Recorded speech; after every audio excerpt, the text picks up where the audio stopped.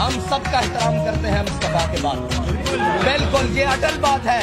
अगर इसके ऊपर कोई हर पाएगा, ना हम अपना माल देखेंगे, ना जान देखेंगे, ना इज़्ज़त देखेंगे, ना दौलत देखेंगे, ना वतन देखेंगे, ना ना वतन की हदें देखेंगे। क्योंकि हर मुल्क मुल्क के मायर हर मुल्क मिलके खुदाए मायर अगर कोई बात हमारे आका मौला की इज़्ज़त करे करेगा तो उसे याद रखना चाहिए। हमारे लिए रेड